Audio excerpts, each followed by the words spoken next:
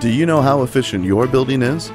25 years ago, fuel efficiency was the farthest thing from people's mind when buying a car. Today, the first thing people consider is fuel economy and environmental impact.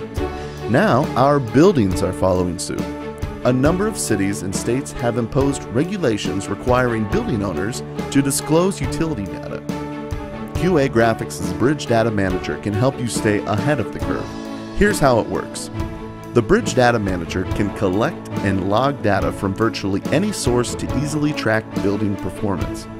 Most buildings have data available, it's just a matter of capturing it. Then, data is logged via the network or cloud storage using Microsoft SQL Server. Using Bridge's built-in user interface, you can export data to CSV or Excel. Bridge organizes the information in real time and can be configured to log the data to tell you how much energy a specific utility is using at any given time. The data can be compiled into daily, weekly, and yearly reports or be relayed to other platforms like Microsoft SharePoint or a custom interface. Once the data is there, it can be used for a variety of needs. Ensure your building is performing as the design intended Verify that your building is operating as the building management system says it is.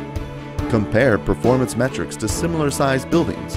And QA Graphics can also help display this data on an interactive dashboard for executive management or building occupants to stay informed. The Bridge Data Manager benefits all types of organizations.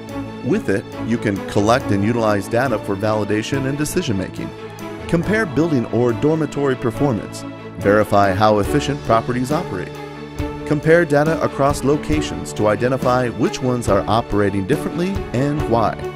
Make data more readily accessible for things like lighting sensors or refrigeration units. These are just a few examples of how organizations are using Bridge to maximize building efficiency. Bridge collects all the data you need, and what you do with it is up to you.